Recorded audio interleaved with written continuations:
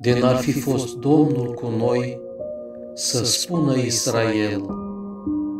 De n-ar fi fost Domnul cu noi, când s-au ridicat oamenii împotriva noastră. De vine ar fi înghițit pe noi, când s-a aprins mânia lor împotriva noastră.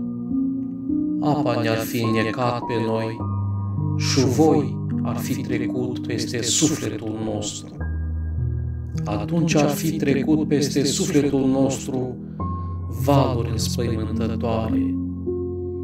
Binecuvântat este Domnul, care nu ne-a dat pe noi spre vânarea dinților lor. Sufletul nostru a scăpat ca o pasăre din cursa vânătorilor. Cursa s-a sfărămat și noi ne-am izbăvit. Ajutorul nostru este în numele Domnului, Cel ce a făcut cerul și pământul.